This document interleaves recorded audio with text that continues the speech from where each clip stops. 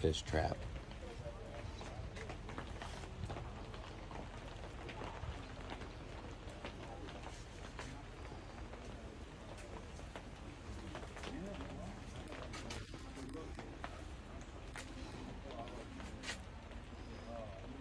I think we'd have to make one of these.